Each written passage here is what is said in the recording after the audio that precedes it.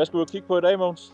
Ja, vi skal ud og kigge på noget øh, majs, øh, nærmere taget noget øh, kolbemajs, som Sten Skov han dyrker her i Himmerland, tæt ved Års. Og øh, udover det, så synes jeg, at Sten er rigtig spændende, fordi han er en super dygtig mælkeproducent, går meget op i øh, avlsarbejde, går meget op i, at vi skal have en høj mælkeydelse, og dermed også øh, foder med det perfekte grovfoder.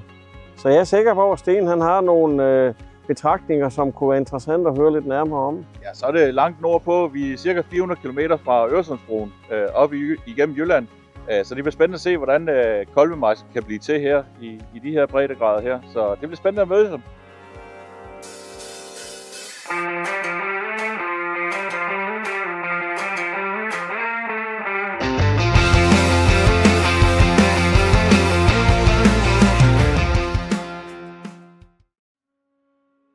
Hvor er vi kommet hen i dag? Jamen, vi er kommet til Akersund nummer 17 i vores. Vi har vores landbrug her, der hedder Lille Skovsgård, og her har vi lige haft 35 års jubilæum. Og næste generation er på vej til at, at, at blive delagtiggjort i landbrug. De har overtaget køerne og, og den del af stallen, som arbejdet ligger ved. Og så har vi så et markbrug, hvor vi har 650 hektar. Så laver vi lidt for andre, kører lidt gylde og sprøjter lidt. har nogle kornafgrøder og noget raps, og så selvfølgelig nogle majs og noget græs, som er hovedfoder til køren.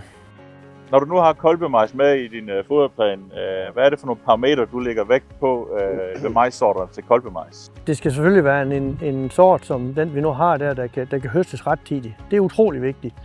Øhm, og også dække op nogle hold fordøjelighed. Det er også vigtigt, og, og en god tørstof.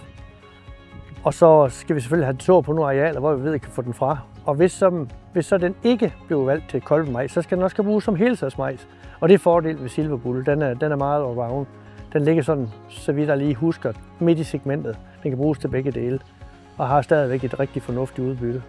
Øhm, så det er nok grunden til, at vi, vi vælger den sort og har haft den faktisk i mange år. Jamen Sten, du er en travl mand lige nu her. Der foregår rigtig mange ting, så øh, du, du skal også videre ud øh, på arbejde, så vi siger mange tak, og så vil vi gå ud og kigge lidt på, på sorterne. Så øh, tak, for, tak for hjælpen her. Fornemt, det er vi også.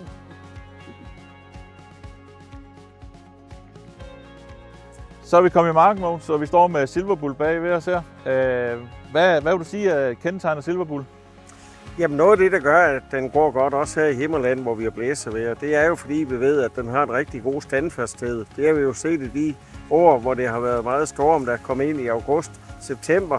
Jamen der bliver Silverbull stående.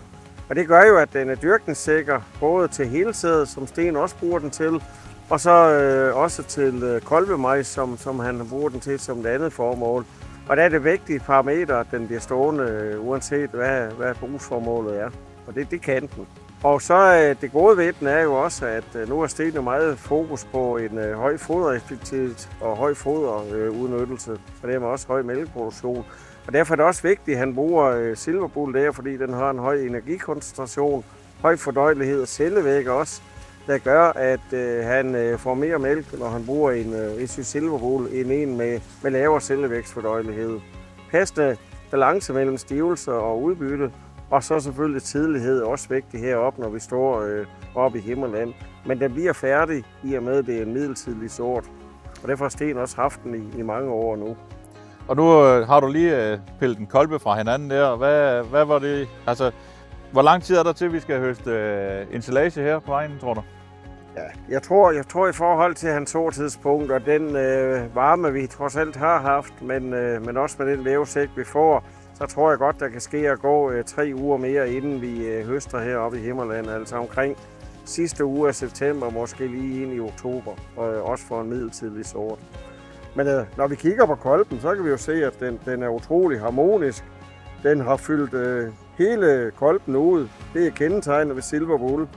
Og øh, så hvis man kigger, så har den også et, et lukkesvøb, og det gør jo også, øh, at det, øh, den er god også, hvis den skal stå til kolbemajs, fordi der skal den stå til en tørstofprocent på ca. 55. Og der kan man ikke tåle, at der kommer fusarium i, øh, hvis den bliver høstet meget senere end midten af september.